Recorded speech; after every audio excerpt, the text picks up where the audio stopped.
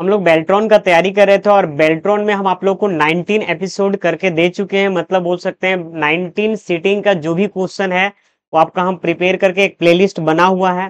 देखने के लिए आप लोग क्या कर सकते हैं, सबसे पहले आप क्रोम ब्राउज़र खोलिएगा यूट्यूब खोलिएगा स्टूडेंट और यहाँ पे आपको हम दिखा दे रहे हैं। यूट्यूब में जाइएगा और यहाँ पे सर्च कर लीजिएगा, बिहार बेल्ट्रॉन है ना नेक्स्ट जिन कंप्यूटर ठीक है नेक्स्ट जिन कंप्यूटर आप सर्च कर लिए। ऑटोमेटिक फ़र्स्ट में ही आ जाएगा, देखिए आप। और इसमें आप प्लेलिस्ट में अगर आप जाते हैं, इसमें किसी एक में क्लिक करिए और आप प्लेलिस्ट में चले जाइए यहाँ से, इसमें क्लिक करिए। प्ले लिस्ट में जाइए, यहाँ पे देखिए, दिख रहा है आपको ना? यहाँ पे प्लेलिस्ट आपका बना हुआ जूम करके मैं दिखा देता हूँ। यहाँ पे प्लेलिस्ट में जाइएँगे और प्लेलिस्ट में जब क्लिक करिएगा यहाँ पे तो ये देखिए फ़र्स्ट नंबर पे ही आपको यहाँ पे लिखा हुआ है ना, बिहार बेल्ट्रॉन जब इस पे क्लिक करेंगे तो इसके अंदर बहुत सारा आपको वीडियो आ जाएगा। देखिए इस तरीके से राइट साइड में बहुत सारा आपको वीडियो ठीक है ना? तो आपको टोटल हम 19 वीडियो करके दे चुके हैं और आगे हम आज दे रहे हैं सिर्फ़। तो चलिए हम स्टार्ट करते हैं, ठीक है? पहले ये मेरा सीटिंग ये समझ लीजिए, सबसे पहले आपको देखो ये जो पी वाई क्यू दे रहे हैं ना, बहुत ही इंपॉर्टेंट है। इसलिए मैं इंपॉर्टेंट बोल रहा हूँ कि यही क्वेश्चन बार बार रिपीट आता है। ऐसा इसलिए बोल पा रहा हूँ कि देखो एम एस वर्ड तो लिमिटेड है। एम एस वर्ड वही है, बात समझ में ऑप्शन भी सारा वही है। एक दो ऑप्शन कोई कोई वर्जन में चेंजेज है। इस चीज़ को आप ध्यान दीजिए कि आपका जीके जीएस नहीं है कि कहीं से भी पूछा जाएगा। जो सॉफ्टवेयर है उसी के अंदर से पूछा जाएगा। इसलिए प्लीज़ प्लीज़ आप लोग ध्यान दीजिए। बात समझ में आ रहा ना? कितना भी एमएस वर्ड पढ़ लीजिएगा, किस ऑप्शन पे, क्या ऑप्शन है, वो चीज़ ध्यान देना होगा, साथ ही साथ पीवाई क्योंकि आपको सीबीटी एग्ज़ाम पास करना सबसे बड़ी बात है। ज़्यादातर बच्चे इसी में फेल होते हैं। टाइपिंग तो कर लें, क्योंकि हिंदी इंग्लिश टाइपिंग सभी एग्ज़ाम में माँगता है तो बच्चे लोग पहले से किए रहते हैं। लेकिन दिक्कत क्या है ना, दिक्कत इस बात की है कि पीसीबीटी में दिक्कत हो जाता है, फंस जाते हैं। तो प्लीज़ इसको आप रेगुलर वीडियो को देखिए, यकीन मानिए आपको हंड्रेड परसेंट गारंटी की आपको सिलेक्शन हो जाएगा। इस टाइप के पूरे यूट्यूब में वीडियो नहीं, बस खाली व्यू बढ़ाने के लिए कुछ भी बताया जा रहा है। चलिए प्लीज़ आपको यहाँ पे अंशु कुमारी का है ये। सॉरी अंशु कुमार का है।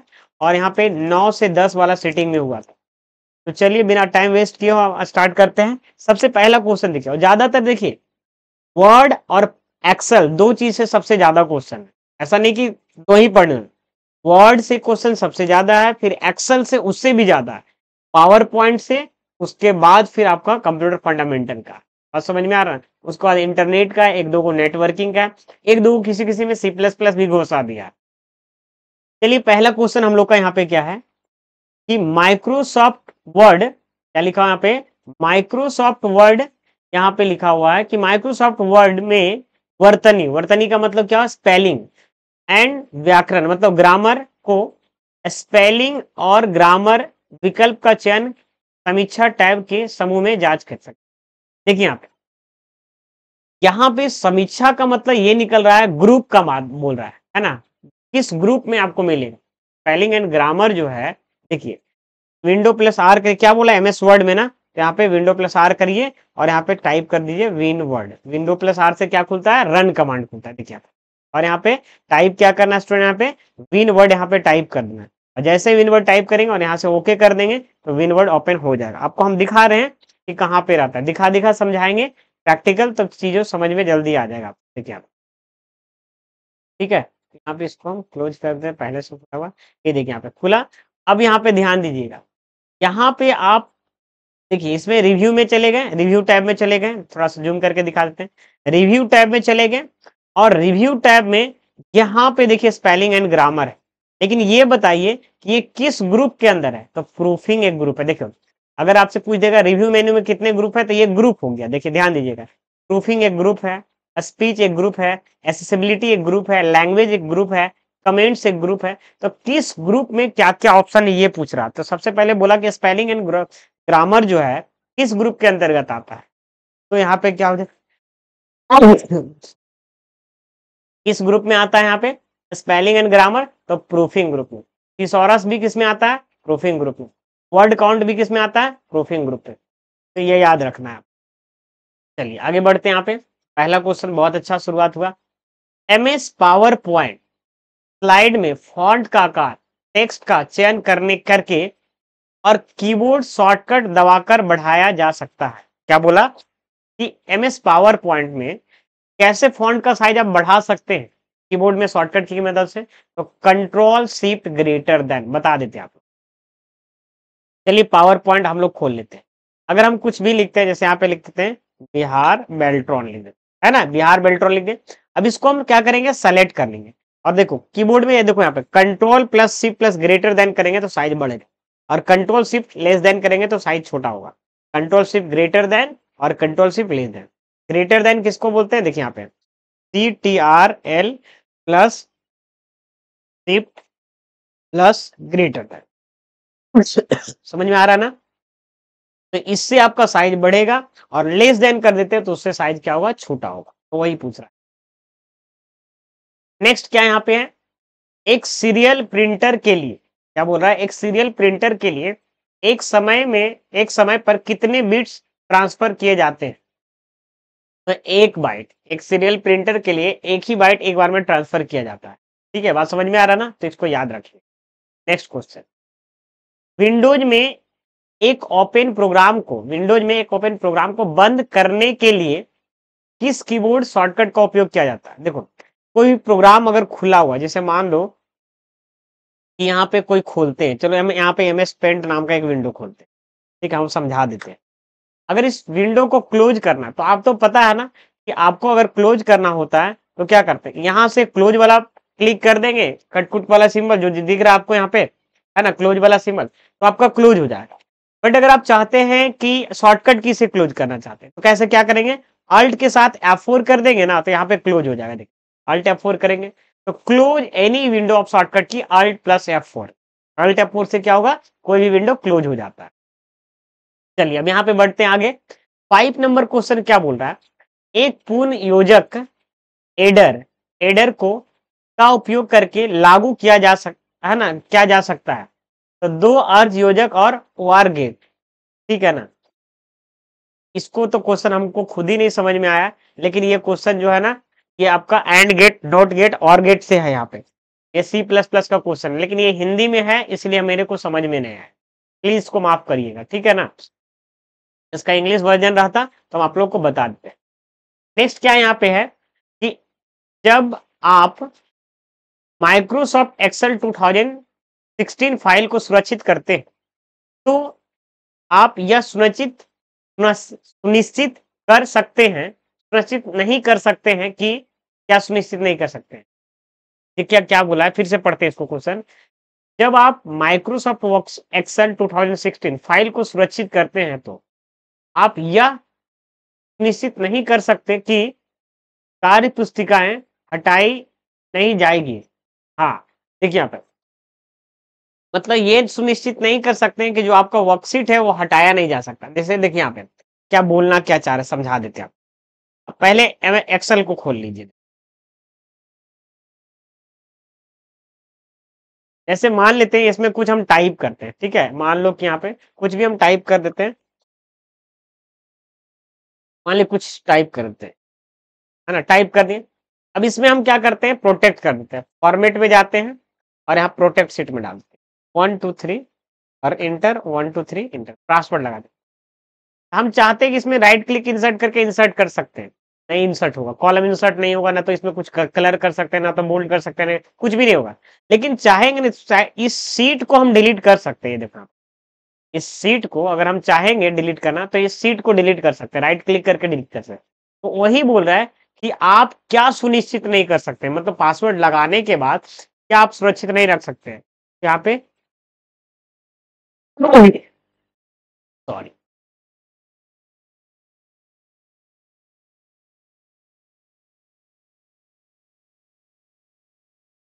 समझ में आ गया स्टूडेंट यहाँ पे? माइक्रोसॉफ्ट एक्सेल में जब कोई वर्कशीट पहले से खुल, खुली होती है तो शॉर्टकट की कुंजी F7 को दबाकर निम्नलिखित में से कुछ, निम्नलिखित में से किस की पूर्णता की जाती है? तो यहाँ पे देखिए स्पेलिंग जाँच चलाई जाती है। स्पेलिंग जाँच, क्या बोला? वर्कशीट में खुली होती है तो शॉर्टकट की, किस शॉर्टकट की का यूज़ करते थे एफ़ सेवन एफ़ सेवन के मदद से क्या होता है? स्पेलिंग एंड ग्रामर का यूज़ किया जाता है, चेक किया जाता है, जैसे यहाँ पे। तो शॉर्टकट की अगर देखेंगे एम एस एक्सएल में भी वर्ड में एक्सेल में पावर पॉइंट में तीनों में शॉर्टकट की सेम है इसका। तो क्लिक करिएगा यहाँ पे रिव्यू में स्पेलिंग एंड ग्रामर ये देखिए है ना यहाँ पे? ये देखिए यहाँ पे, इसका इस पे कर्सर रखेंगे।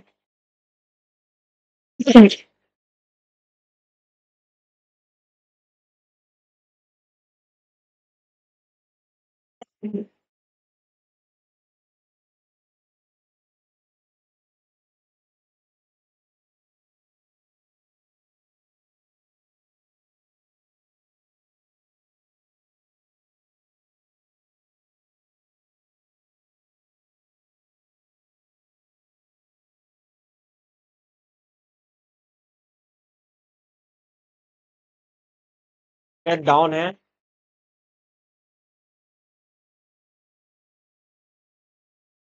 तो यहाँ तक समझ में आ गया यहाँ पे? आज थोड़ा देर ही क्लास चलेगा, बस हम चाहते थे कंटिन्यू रह जाए। एक मेल मर्ज डेटा स्रोत नहीं हो सकता। देखो यहाँ पे।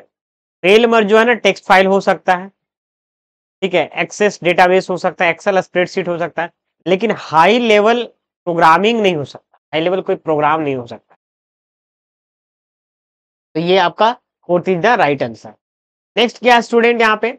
IPv4 पते की पहचान करें जो मान्य नहीं है। IPv4 का मतलब क्या हुआ? इंटरनेट प्रोटोकॉल वर्जन फोर तो यहाँ पे ये आपका सही आपका है। मान्य नहीं है। ये देखिए बात समझ में आ रहा ना? क्या बोल रहा है? कि आईपी फोर पते की पहचान करें जो मान्य नहीं है। मान्य मतलब जो सही नहीं है। तो ये आपका सही नहीं है स्टूडेंट ठीक है ना आप? बाकी सब ये सही है। ये आपको याद रखना होगा। बात समझ में आ रहा one two three point two five five dot one five five dot two five six. ठीक है? यहाँ पे क्या बोला है कि माइक्रोसॉफ्ट एक्सेल 2016 में वर्कशीट के अंदर एक सेल में कितना? एक एक लाख तेईस हज़ार? हाँ, बारह लाख चौंतीस हज़ार पाँच सौ सड़सठ मतलब twelve lakh thirty four thousand five hundred seventy six sixty seven समाविष्ट होता है। इस सेल का चयन करते हुए आप होम टैब के अंतर्गत नंबर ग्रुप में जाते श्रेणी सूची में आप नंबर चुने। एक हज़ार सेपरेटर का उपयोग करें। एक हज़ार सेपरेटर सेपरेटर में तो समझते हैं ना, कोई भी सेपरेटर कॉमा हो गया, कुछ भी हो सकता है। एक बॉक्स चुने। इस चरणों को करने के लिए परिणाम स्वरूप है ना, सेनिम्र सेनिम्र में से कौन सा विकल्प प्रदर्शित होगा? तो कौन सा विकल्प प्रदर्शित होगा? तो यहाँ पे ये वाला विकल्प प्रदर्शित होगा। तो हम कैसे बोल पा रहे हैं? पहले इसको फिर से समझिए। क्या बोला? एम एस एक्सेल के अंदर एक सेल में इतना समाविष्ट होता है। ठीक है। इस सेल का चयन करते हुए आप होम टैब के अंतर्गत नंबर ग्रुप में जाते हैं। नंबर ग्रुप समझ रहे हैं ना? यहाँ पे एक्सेल में जाइएगा तो ये आपका होम टैब में जाइएगा। एक नंबर ग्रुप है देखिए, यहाँ पे देखिए, दिख रहा आपको? थोड़ा सा हम इसको ये नंबर ग्रुप, ठीक है ये आपको? ये नंबर ग्रुप दिख रहा है आपको यहाँ पे? ये नंबर ग्रुप। अब आगे पढ़ते हैं। यहाँ पे नंबर ग्रुप में जाते हैं। श्रेणी सूची में आप नंबर ग्रुप चुने और एक हज़ार सेपरेटर का उपयोग करें। एक हज़ार सेपरेटर, मात्र समझ में आ रहा ना? वन थाउज़ेंड सेपरेटर का उपयोग करें। एक बॉक्स चुने। इन चरणों को करने के परिणाम स्वरूप श्रेणीम्र में से कौन सा विकल्प प्रदर्शित होगा? देखिए आप, इसमें आप जाइए। ये देखिए, इसमें जो है, इसमें क्लिक करने के बाद यहाँ पे कौन सा विकल्प प्रदर्शित होगा यहाँ पे? ठीक है ना? एक हज़ार चुनिए, एक हज़ार कहाँ से चुन पाएँगे यहाँ पे? इसको रहने दीजिए, इसको हम बता देंगे, ठीक है ना? इसको देख के बता दीजिए इसमें थोड़ा सा देखना होगा। क्लिक करके हर ऑप्शन में, ठीक है ना? ये थोड़ा सा एक्सेल से ही क्वेश्चन है थोड़ा सा ये अलग टाइप का है, ठीक है? टैबलेट भी डाउन है तो नहीं कर रहा। ठीक है? अब यहाँ पे देखिए, आप माइक्रोसॉफ्ट पावर पॉइंट स्लाइड के पेज ऑफ़ है ना ओरिएंटेशन को इस तरह से बदल सकते हैं। किस तरह से बदल सकते हैं? लैंडस्केप से पोर्ट्रेट में बदल सकते हैं पोर्ट्रेट से लैंडस्केप में बदल सकते हैं। क्या बोला? M S PowerPoint slide को पेज ओरिएंटेशन को किस तरह से बदल सकते हैं? तो पोर्ट्रेट से लैंडस्केप बदल सकते हैं। मतलब पोर्ट्रेट टॉल वाला एरिया को पोर्ट्रेट बोलेंगे वाइड वाला एरिया को लैंडस्केप बोलेंगे। जैसे देखिए यहाँ पे। समझा देते हैं। देखिए यहाँ पे। यहाँ पे आप चले जाइए डिज़ाइन टैब में। यहाँ पे साइज़ में जाइए यहाँ पे और कस्टम साइज़ में जाएँगे।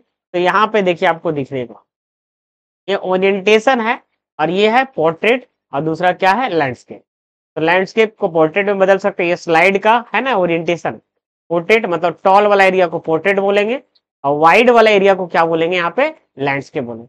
ये आपका पोर्ट्रेट कहलाएगा। पी फोर पोर्ट्रेट और एल फोर लैंडस्केप कहलाएगा। क्लियर समझ में आ रहा है? चलिए। नेक्स्ट क्या है यहाँ पे? G I F Z I F sorry Z I F motherboard एक प्रकार का सीपीयू सॉकेट है। जे आई एफ़ है मदरबोर्ड एक प्रकार का क्या है? CPU. J I F computer motherboard पर एक प्रकार का सीपीयू सॉकेट है जो प्रोसेसर के सरल प्रतिस्थापन या है ना उस उन्नयन के लिए अनुमोदित अनु, अनुमति देता है। इस जेड आई एफ़ का पूर्ण रूप क्या है? देखिए, इतना लंबा क्वेश्चन पड़ गया ना। इतना लंबा क्वेश्चन का मतलब क्या है? ये पूछना क्या चाह रहा है सीधा से? इसका फुल फॉर्म क्या? बस खाली इतना क्वेश्चन जो है ना, इतना भी रहता ना, तब भी समझ में आता। खाली पूछ देता कि कंप्यूटर में जीआईएफ का पूर्ण रूप क्या इतना भी पूछ सकता था। लेकिन पूछ रहा है कि मदरबोर्ड में जो ऊपर में रहता है, उसका नाम जीआईएफ है, इसका पूर्ण का नाम क्या है? तो यहीं पे पूछ रहा है। बात समझ में आ रहा है ना तो क्वेश्चंस को घुमाया जाता है। इस चीज़ को आप समझिएगा। एक बार में मत पढ़िएगा, दो तीन बार उसको पढ़िएगा, तभी आपको सटीक जवाब मिलेगा, जब तक जवाब सही ना मिले। इसका सही आंसर क्या होगा स्टूडेंट यहाँ पे? ये होगा। इसका जेड आई एफ़ का फुल फॉर्म होता है ज़ीरो, है ना? इंसर्शन फोर्स होता है। क्या होता है? Zero insertion force, zero insertion force. क्या होता है? ज़ीरो इंसर्शन फोर्स होता है। अब देखिए, माइक्रोसॉफ्ट वर्ड 2016 में वर्ड विंडो के शीर्ष पर स्वरूपन फॉर्मेटिंग और अन्य सुविधा वितरित की जाती है। ऊपर से नीचे की ओर, है ना व्यस्थापन इस प्रकार है। किस प्रकार है। सबसे पहले फिर से पढ़ते हैं। क्या बोला? एम एस माइक्रोसॉफ्ट वर्ड 2016 में वर्ड विंडो के शीर्ष पर स्वरूपन फॉर्मेटिंग और अन्य सुविधाएँ वितरित की जाती है। ऊपर से नीचे की ओर व्यवस्थापन इस प्रकार है। तो देखिए यहाँ पे, सबसे पहले समझिए, कोई भी सॉफ्टवेयर को खोलते हैं तो जो टॉप में प्रजेंट रहता है ना, उसको क्या बोलते हैं? सबसे पहले यहाँ पे टाइटल वार बोलते हैं। और टाइटल वार के जस्ट नीचे बार जो रहता है, उसको क्या बोलते हैं यहाँ पे स्टूडेंट यहाँ पे टाइटल बार के बाद मेन्यू बार आता है। मेन्यू बार के बाद फॉर्मेटिंग बार या टूल बार इसको बोल सकते हैं, वही बोल रहा है कि किसके बाद कौन सा ऑप्शन रहता है? जैसे आप कोई भी खोलते हैं, चलो हम वर्ड खोल तो देखिए आप ऊपर वाला एरिया टाइटल बार कहला है, ये आपका मेनू बार है। ये आपका ऑप्शन बार बोल सकते हैं या रिबन हो सकता है, या नहीं तो टूल बार भी बोला जा सकता है स्टूडेंट बात समझ में आ रहा है कि नहीं? ठीक है तो यही चीज़ बताया जा रहा है। अच्छा फोर्टी नंबर क्वेश्चन है, निम्नलिखित में सॉरी निम्नलिखित एम एस एक्सेल डेटा पर विचार कर। ये मेरे पास डेटा है, ठीक है ना? और यहाँ पे क्या बोला? फॉर्मूला दस, द, है ना फॉर्मूला द फॉर्मूला एवरेज देखो यहाँ पे। एवरेज नाम का फॉर्मूला यहाँ पे लगाना है। क्या बताया गया? देखिए सबसे पहले। ए टू से लेकर एट है ना फाइव तक। ध्यान दीजिएगा। ए टू ये तो यहाँ पे, ये वन हो गया यहाँ पे। ए टू हो गया। ए थ्री हो गया। ए फोर हो गया और ये फाइव हो गया। तो ए टू मेरा ये है। ए टू हो गया। और ए टू से लेकर ए फाइव बोला मतलब यहाँ से लेकर यहाँ तक बोला। बात समझ में आ रहा? चलिए। अब क्या बोला? फिर एवरेज इफ़ बोला। और ये मेरा, देखिए आप, ये है यहाँ पे सी टू सी टू मेरा क्या है यहाँ पे? यहाँ पे सी टू मेरा ये है। ठीक है सॉरी ये सी टू है। ठीक है। उसके बाद क्या बोला यहाँ पे? बी टू से लेकर बी फाइव तक। यहाँ पे बी टू से लेकर बी फाइव तक। बात समझ में आया कि नहीं यहाँ पे ये हुआ क्या? पहले समझाते हैं आप। एवरेज निकालने के लिए बोल रहा है, लेकिन सबका नहीं, खाली बी का एवरेज सब एवरेज इफ़ फ़ंक्शन का क्या? एवरेज रहता तो एवरेज निकालता। एवरेज इफ़ फ़ंक्शन का काम क्या होता है? कंडीशन के बेस पे एवरेज निकालने के तो इसका आंसर देखिए क्या आने वाला। तो सबसे पहले समझिए आप। ये यहाँ पे टोटल कितना मिलेगा? एक मिलेगा और यहाँ पे बी दो मिलेगा। इसका अमाउंट यही होगा ना? टू है सॉरी क्वांटिटी और यहाँ भी टू है। तो इसका एवरेज जो होगा यहाँ पे टू ही होगा। बस समझ में आ रहा ना? क्या होगा स्टूडेंट यहाँ पे? टू होगा। देखिए यहाँ पे। ठीक है, देख रहे हैं ना यहाँ पे? आंसर में टू है कि नहीं? मतलब टू कहने का मतलब ये टू आंसर आएगा। ठीक है, ये फोर्थ नंबर आंसर सही। इसको हम बता भी सकते हैं। आप ऐसा करिए, आप इसको टाइप करिएगा। एम एस एक्सेल के सीट में आप टाइप करिएगा। और ये वाला फॉर्मूला आप लगा के देखिए। ध्यान दीजिएगा ऑफ़िस का पुराना वर्जन नहीं होना चाहिए। ऑफ़िस का कम से कम 16 वर्जन होना चाहिए, या 16 वर्जन से कोई। नहीं तो ऑफ़िस सेवन से नीचे या टेन से नीचे अगर करिएगा तो एवरेज इफ़ वाला फ़ंक्शन उसमें दिया हुआ ही नहीं बात समझ में आ रहा ना? ये क्या क्या सबसे पहले समझो यहाँ पे। अगर नहीं भी कंप्यूटर है तो इसके बारे में समझो कि ये यहाँ से लेकर यहाँ तक, इसका क्वांटिटी टोटल कितना है? पहले बी एक है और बी दो है। इसका क्वांटिटी दो होगा और यहाँ पे चार। तो चार मतलब ये बी कितना मिला? दो दो मिला और टोटल वैल्यू कितना बना? चार मिला। तो यहाँ पे चार से दो को डिवाइड करेंगे, यहाँ पे क्या होगा वही आपका क्या निकल जाएगा? एवरेज निकल ठीक है? एवरेज इफ़ इसलिए लगा कि सबको एवरेज नहीं निकला। सब में से किसी एक को किसका निकालना है? ओनली फॉर बी का निकालना ठीक है? अगर ये वाला नहीं समझ में आएगा तो आप कमेंट बॉक्स में पूछिएगा। हम इसको फिर से एक स्पेशल वीडियो शॉर्ट वीडियो बनाकर हम आपको लिंक भेज देंगे। ठीक है चलिए। यहाँ पे क्या बोला है? एक मेलिंग लेवल निर, का निर्माण मेलिंग टैब का उपयोग से आरंभ किया जाता है। इसके बाद बनाए समूह से डैश विकल्प का चयन करते तो लिफाफे मतलब इन्वेलप का यूज़ करते इन्वेलप समझ रहे हैं ना? ये कहाँ पे मिलेगा? मेलिंग टैब में जाइएगा ना? देखिए यहाँ पे। और आप मेलिंग टैब में गए और यहाँ पे देखिए आपको। कहाँ मिलेगा? ये आपको इन्वेलप इसी का हिंदी मीनिंग क्या होता है? लिफाफा. हिंदी मीनिंग में बच्चे बहुत कंफ्यूज करते हैं। ठीक है ऐसा नहीं समझिएगा कि बिहार क्या है तो हिंदी में कंफ्यूज हिंदी में भी वर्ड में बहुत कंफ्यूज है, क्योंकि कंप्यूटर और अकाउंट्स आप हिंदी में पढ़ाई ही नहीं होता, आपको पता होगा। अगर कोई कॉमर्स लेके पढ़ रहे होंगे, ठीक है ना? ऐसा कोई ज़रूरी नहीं कॉमर्स लेके, लेकिन हिंदी वर्ड अगर कॉमर्स का हिंदी वर्ड बोल सकते हैं, और कंप्यूटर का हिंदी वर्ड बहुत बोल सकते हैं तकलीफ़ होता है पढ़ने ठीक है ना? ऐसा अटपटा वर्ड रहता है। इसलिए प्लीज़ प्लीज़ आप लोग यहाँ पे ध्यान दीजिएगा कि ऑप्शंस को देखने के बाद आंसर ज़रूर देखिएगा। अगर वहाँ पे इंग्लिश रहेगा ऐसे इंग्लिश रहेगा ही रहेगा। ठीक है? चलिए। इसका आंसर क्या होगा? इनवेलफ हो जाए ठीक है? निर्माण का मतलब बनाने की बात कर रहा है। बात समझे यहाँ पे मेलिंग लेवल का निर्माण ले, है ना? मेलिंग टाइप का उपयोग आरंभ किया जाता है। किससे आरंभ किया जाता है? मेलिंग टैब में किस ऑप्शन से आरंभ किया जाता है? तो इनवेलप से ही ना यूज़ कर सकते हैं। यहाँ तक क्लियर है यहाँ पे? अब यहाँ पे आपको देखने को मिल रहा है सिक्सटीन नंबर क्वेश्चन सिक्सटीन में क्या है यहाँ पे? माइक्रोसॉफ्ट एक्सेल 2016 में फॉर्मेट सेल विकल्प के उपयोग से सेल को सुरक्षित किया जा सकता है। दर्शाए जाने वाले फॉर्मेटिंग सेल डायलॉग विंडो पर लॉक सेल विकल्प को डैश टैब के तहत पाया जा सकता है। तो यहाँ पे प्रोटेक्शन क्या होगा आंसर स्टूडेंट प्रोटेक्शन इस इसको समझो पहले क्वेश्चन समझो। क्या बोल रहा है? जहाँ पे फुल स्टॉप है ना, पढ़, सोच, है ना फुल स्टॉप रुकना यहाँ पे। देखिए क्या बोला कि माइक्रोसॉफ्ट एक्सेल 2016 में, रुक गए। फॉर्मेटिंग सेल विकल्प मतलब ऑप्शंस के उपयोग से सेल को सुरक्षित किया जा सकता है। फॉर्मेटिंग सेल के मदद से सेल को सुरक्षित किया जा सकता है। यहाँ तक तो क्वेश्चन पूछ ही नहीं रहा। दर्शाए जाने वाले फॉर्मेट सेल डायलॉग विंडो पर लॉक सेल विकल्प को डैश है ना? प्रोटेक्शन टैब के तहत पाया जा सकता है। प्रोटेक्शन टैब ठीक है ना? प्रोटेक्शन जो है ना, ऑप्शंस के तहत यहाँ पे पाया जाए। इसको ऑप्शन को यहाँ पे टैब दर्शाया गया। थोड़ा सा यहाँ पे कंफ्यूजन क्रिएट कर दी। है ना यहाँ पे? जबकि ग्रुप होना चाहिए। है ना? चलिए। ग्रुप नहीं, यहाँ पे ऑप्शन होना चाहिए। लेकिन यहाँ पे सही आंसर यही होगा। बात समझ में आ रहा ना? क्योंकि तो ये सब दूर दूर तक नहीं मिल रहा स्टूडेंट चलिए नेक्स्ट ऑप्शन क्या यहाँ पे? निम्नलिखित में से कौन से दस्तावेज़ दस्तावेज़ मेल मर्ज को सुसंगत है। तो मेन्यू डॉक्यूमेंट डेटा सोर्स और मर्ज डॉक्यूमेंट क्या स्टूडेंट यहाँ पे?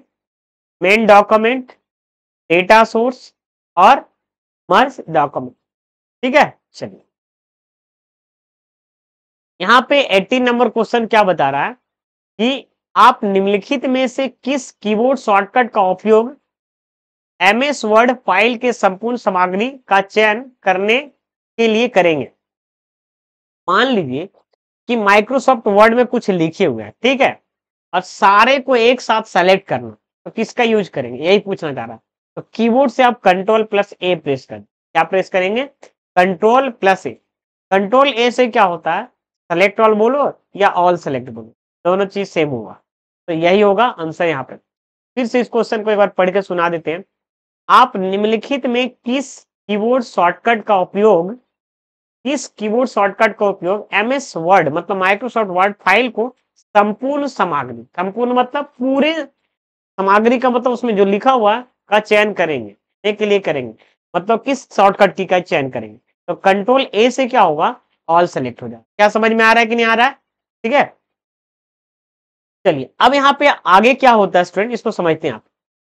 समानीता निम्नलिखित में से किस उपयोग डायनेमिक वेबसाइट बनाने के लिए नहीं किया जाता है?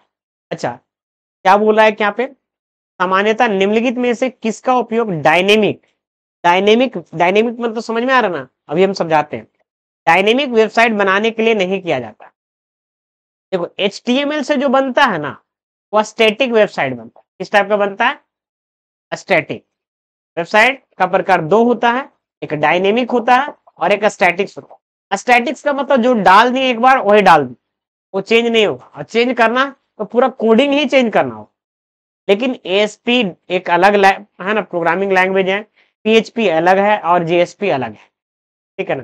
तो एच से क्या होता है? ये डायनेमिक ने बनता है किस टाइप का बनता? है स्टैटिक्स बनता। है तो वही यहाँ पे पूछा जा रहा है कि समानता है ना?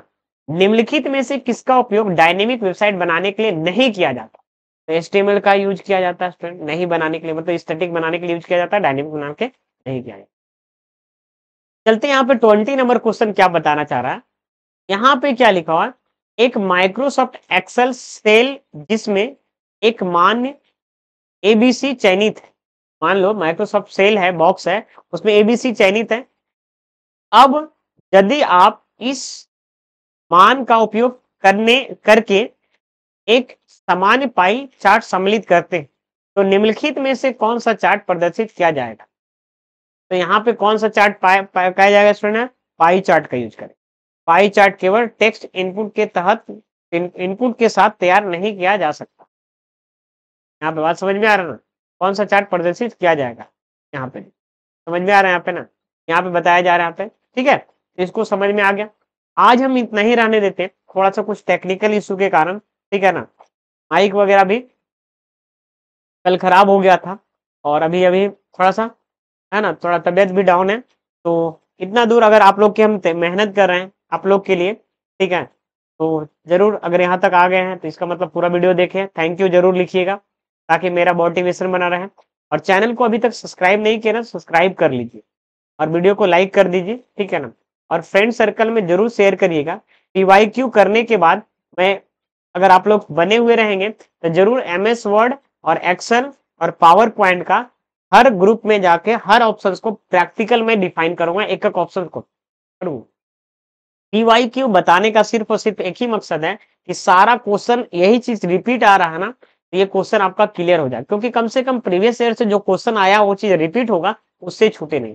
और इतना जान लीजिए, उससे कम से कम चालीस क्वेश्चन पूछा जाएगा। बाहर से बीस क्वेश्चन रहेगा स्पेलिंग एंड ग्रामर पूछेगा हाइपर लिंक पूछेगा, दो चार चीज़ तो ऐसा बोल दे रहा है ना, जो आपको पूछेगा ही पूछेगा। फाइंड ऑप्शन से पूछ देगा, ठीक है हाइपर लिंक का शॉर्टकट की पूछ देगा चेंज केस से पूछ देगा, ठीक है ना। मेल मर्च से आपको पूरा भरा भरा क्वेश्चन आएगा, तीन चार क्वेश्चन रहता है आई होप यहाँ तक समझ पाए होंगे, और थैंक यू थैंक यू